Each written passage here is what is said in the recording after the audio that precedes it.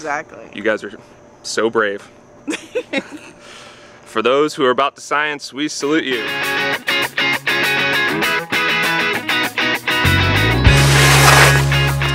Hey everyone, my name is Chris Anderson. Today, I'm meeting with biologist Dr. LaTonya Jackson, who is researching how runoff pollution is affecting local ecosystems and people. Let's check in with LaTonya and see what she's been learning. LaTonya, Hey, Chris, how are you? Good to see you. so, tell me, what is runoff pollution? Uh, simply put, runoff pollution is anything that can run into a body of water that's coming from the land, the street, or anything else, like after rain. Um, Okay. For example, what goes down the drains, what goes down to the street, and out to places like this, this beautiful lake. It runs off into the lake. Okay. So, what are some issues specifically with Cincinnati that we've been dealing with, like this runoff pollution? being in an urban area, you have a lot of cars that drive on the streets and so on. And when you have like rainstorms like we have been having lately, all of the runoff from the streets are going down the drains. And you're looking at stuff like metals, you're looking at plastics, you're looking at um, anything that somebody throws out on the streets. Kind of like when you put shampoo in your hair and then you rinse it off, it just all kind of rinses down the drain and just gets into all these different water ecosystems.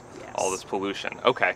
So, uh, what are some particularly hazardous chemicals or, or damaging chemicals for our, our local environment here? Oh, wow, you have said a mouthful there.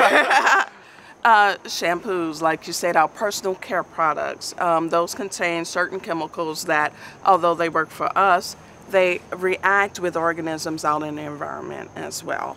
Um, we also talking stuff like um, the things that we clean with, okay, our bleaches, our um, our uh, cleaning solutions. Um, I don't want to name any in Yeah. particular, you know, get anybody in trouble, but those things that we use to clean our cabinets, clean our floors with, they all get down the drain and eventually everything ends up going into the water. And I'm sure, you know, there there are factories and things that use chemicals, and that ends up kind of getting into the water system as well, right? Yes, yes, it does. Now, does how we use the land, like being in a city, uh, you, you talk a lot about the roads. Does the that concrete have anything to? Uh, does that that you know exacerbate the problem? Unlike the ground, the concrete doesn't soak up a lot of the things. So when you have an area like this, where you have the soil, where you have plants and everything else, it helps um, with those contaminants to an extent. Well, the concrete doesn't have that, so everything just washes right off of it. Yeah, it's just like Yeah. a hard surface. There's nothing to absorb it. Exactly, nothing at all, and it just washes it right on out. Well, are, are you taking some data today? Actually, I am. You want to come and see? of course I do. All right, let's do go. it, Let's do it. So basically, what I'll do is I'll take these fish and I'll put them into homemade little fish cages. Now, I like how low tech it is.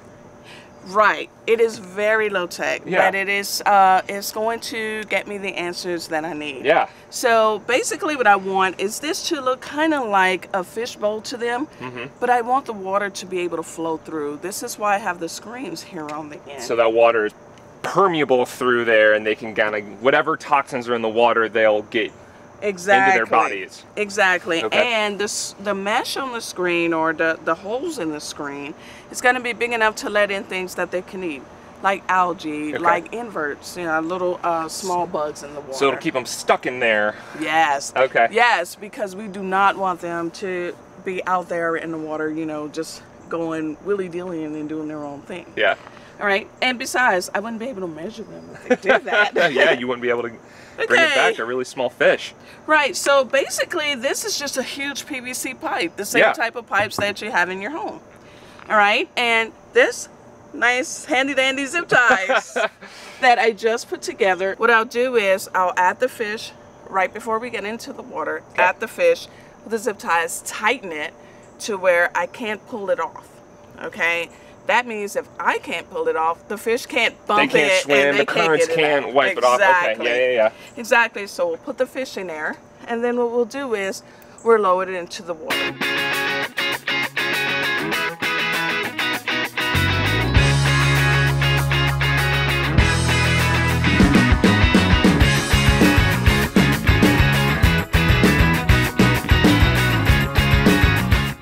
day and then we're gonna come back and we're gonna get the fish out of there and from there I'll bring them to back to the lab and that's where I'll measure their length. That's where I'll measure everything that's going on. So, LaTonya, what has uh, our data shown us about how the fish have reacted to some of our local streams and rivers?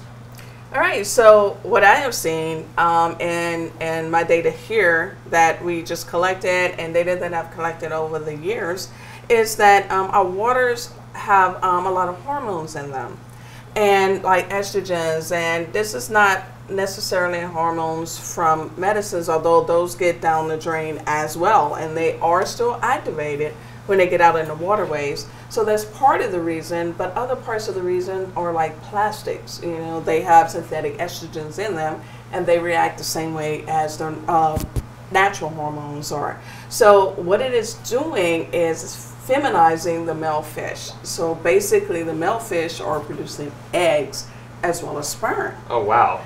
Yeah. That can be a real problem for populations, though. Exactly, it can be because for these fish in particular, the males are smaller than the females. And in order for them to mate with the females, they literally have to get into the female's blind spot um, to thrust forward their gonopodium, which is the anal fins that have been fused together. and looks like a hypodermic needle, and they deliver the sperm pack to the female through that. Well, the bigger they are, the less likely they are to be able to get into the female's blind spots. You can always see them. So they don't have a chance of mating with her. Oh. And it can also be a problem because they're not producing as much sperm. So that could indicate that if you're not producing as much sperm, and you're not getting as many chances to reproduce, the population levels can actually go down. They'll go way down if they're not reprodu- able to reproduce. Exactly, and they can totally collapse. So you can have a wipeout of the local populations of these fish. Wow. Cool. Well, what are some other things that people can do at home to make sure that some of these pollutants aren't getting in our local waterways? Um, you want to not wash your clothes every day. Like, you know, cut down on the amount of times you wash. And if you can get by washing once a week, please, by all means, do so. You want to take I, I'm definitely doing that right. I just want to Oh, make sure yeah, that I. I like I'm not doing laundry once a week, so I'm not, I just want to make sure everyone know that I'm doing my part with laundry. All right. what you also want to do is for you, uh, for showers, take showers instead of baths. You use less water there. Um, you also want to, with your cleaning products, we don't want you to not use the cleaning products, but we want you to use environmentally friendly cleaning products. So, in other words, you don't need a gallon of bleach for that one little stain on your counter. You know, be um, use some elbow grease. Yeah, you know, right. every now and again. But yeah, use environmentally friendly cleaning products, use environmentally friendly laundry detergents and soaps and things like that, and you'll be doing your part. And less is more. So when you don't have to use a whole lot, don't use a whole lot. And I'm sure cutting down on single-use plastics, and if you do have to use plastics, make sure you recycle those plastics. That way, those plastics don't get uh, into our water stream. Probably helps a lot too. Hey, cut out the plastics when you when you don't have to. And like you said, single-use plastics, make a reuse for them. That sounds good. Well, LaTonya, thank you so much for inviting me out uh, to check in on the health of our local waterways and the ecosystems here. I think it's just really cool how you're measuring the, the runoff pollution and how it's affecting the, the local wildlife. Oh, you're welcome. Come back anytime. I will. I'll take you up on that. All right. All right, and we'll see you next time on Science Around Cincy.